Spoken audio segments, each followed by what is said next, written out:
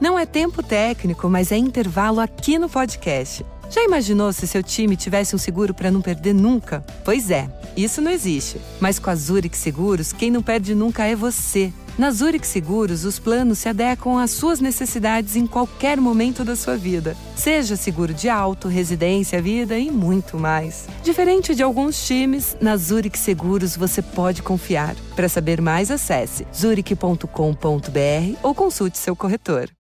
Sair da escola já com uma formação profissional no currículo? Parece bom demais para ser verdade, né? Pois é. No ensino técnico do Senac, isso é possível. É ensino médio junto com formação técnica, que acontece durante os três anos. Lá, eles usam metodologia para projetos, desenvolvendo competências como resolução de problemas, pensamento crítico e colaboração, além de valores éticos e sustentáveis. Quer saber? Senac. Acesse sp.senac.br barra ensino médio e saiba mais.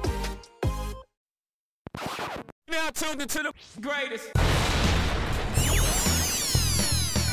Run Manny Wilson Podcast. the Run, the Manny Wilson Podcast.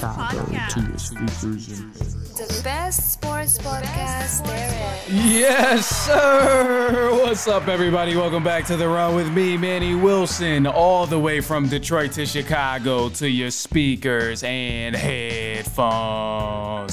I appreciate you tuning in to the first interactive sports podcast. You know, a community that makes sure your voice is heard.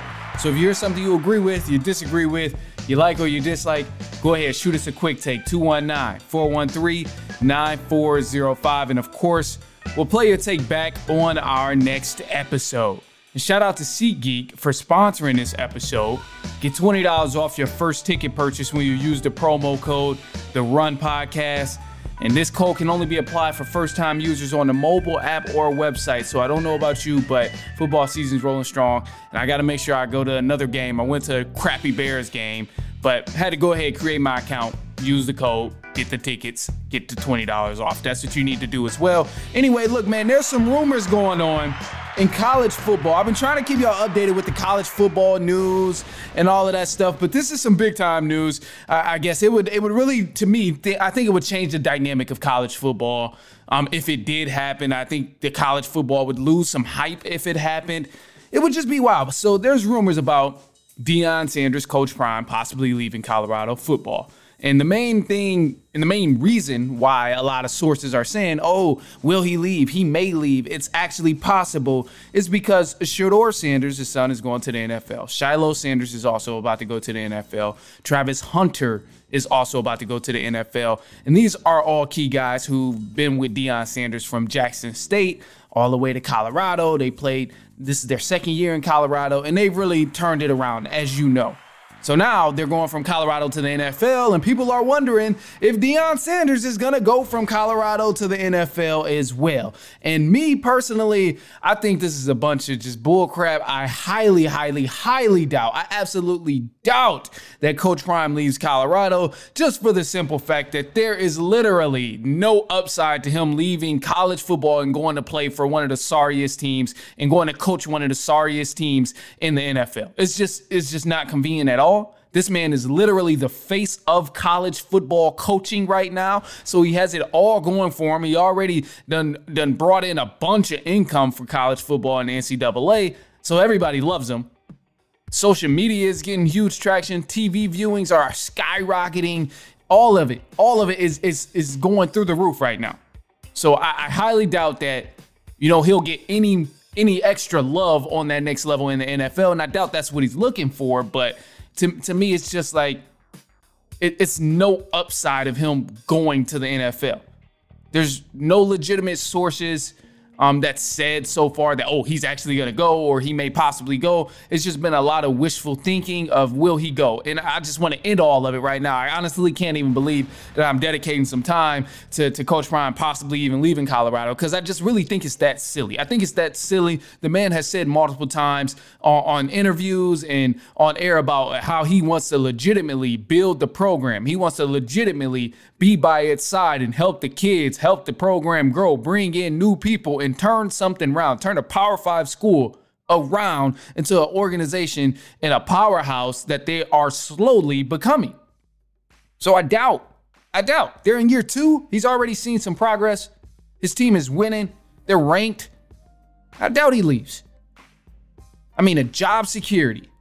When I'm thinking about the different things of of, of going to the NFL to actually play or, or actually coach, when, you, when I think about coaching in the NFL, um, the, the first thing that comes to mind, honestly, the job security. You get this big salary increase, of course, um, but ultimately, it might not even be as much as you're making now with the college football endorsements and and also to the salary. You're one of the highest paid coaches in college football, so you know that may not even be that much of a difference, especially starting off as a coach in the NFL. It probably won't be no twenty million dollar deal like Andy Reid because he's won multiple Super Bowls. They know what he can do in the league. But the job security, man, coaches is getting fired left and right. You have two bad seasons. They already looking at you sideways. You got fans at the game chanting your name talking about fire, fire Coach Prime. So no, that's all that's the first things first right there. The second thing is you cannot hand pick who you're gonna have on your team. Like you can with college football. Like you decide you want to be a coach in the NFL, you can't hand pick your team. They're gonna say, "Hey, we want you to coach the Cowboys," and you're gonna look at the pieces and be like, "Damn, this is this is tragic. I, I can't do it. We about to be three and eight again. This is about to be bad." Versus where NCAA and college football, you're actively recruiting. You're actively handpicking the guys that you want on your team and with your team. So I, I think you know the situation you you walk into is what you get.